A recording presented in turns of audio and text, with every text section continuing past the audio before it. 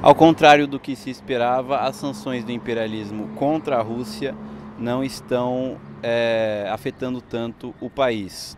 As exportações de petróleo aumentaram no último mês de abril com relação ao mês de março.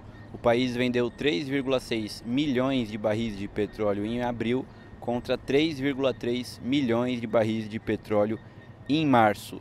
Mesmo os países que impuseram sanções à Rússia estão comprando o petróleo do país eslavo. Na madrugada de hoje, dia 26 de abril, ocorreram explosões em um povoado da Transnistria, que é uma região que fica entre a Moldávia e a Ucrânia, a sudoeste da Ucrânia. É, essas explosões elas danificaram as duas principais antenas de rádio da região que eram da época soviética. A Transnistria é um território que declarou independência da Moldávia logo após a queda da União Soviética, que não foi reconhecida por nenhum outro país. No entanto, tropas russas têm ajudado já desde os anos 90 aquele país que se declarou independente e que tem adotado um estilo muito semelhante à antiga União Soviética.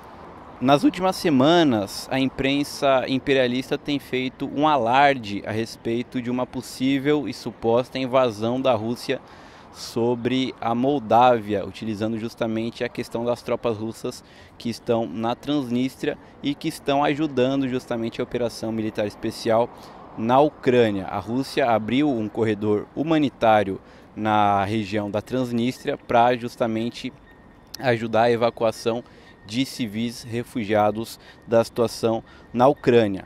Também há ameaças de ataques à capital da Transnistria, Tiraspol, e autoridades ligaram o sinal de alerta.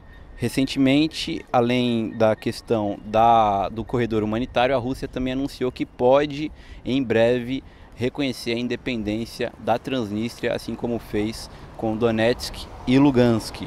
O presidente da Moldávia convocou hoje o Conselho de Segurança do país para discutir o incidente.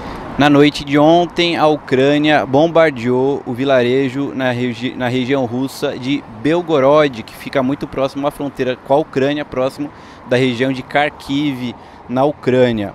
Vários edifícios não residenciais foram atingidos, inclusive quatro casas, mas não houve feridos o ministro da Defesa da Rússia fez um alerta afirmando que se os ataques contra o território russo continuarem, as Forças Armadas russas irão atacar é, centros de decisão ucranianos, inclusive em Kiev. As embaixadas da República Popular de Donetsk e da República Popular de Lugansk podem ser abertas em Moscou dentro de dois meses.